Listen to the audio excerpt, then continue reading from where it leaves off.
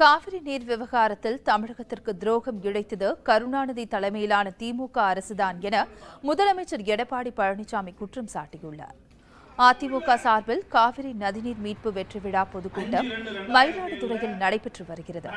இதில் பேசிய முதலமைச்சர் எடப்பாடி பழனிசாமி எம்ஜிஆர் காலம் முதல் காவிரி உரிமைக்காக அதிமுக தான் உண்மையாக போராடி வருவதாக கூறினார். கருணாநிதி தலைமையிலான திமுக சுயநலத்திற்காக காவிரி வழக்கை திரும்ப பெற்றதாகவும் அவர் சாடினார்.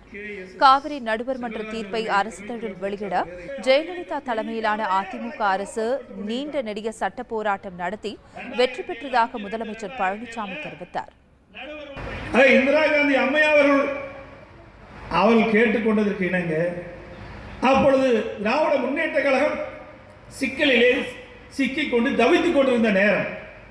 நீங்கள் வாபஸ் பெறாவிட்டால் நடக்கிறது வேறு என்று எச்சரிக்கை விடுத்ததின் காரணமாக கருணாநிதி இரண்டு அவைக்கும் தெரியாமலேயே வாபஸ் பெற்றுக்கொண்டு விவசாயிக்கு துரோகம் அளித்தவர் கருணாநிதி என்பதை இந்த நேரத்திலே தெரிவித்துக் கொள்கிறேன் முக்கிய நிகழ்வுகளை அறிந்து கொள்ள காவிரி நியூஸ் யூடியூப் சேனலை சப்ஸ்கிரைப் செய்யுங்கள்.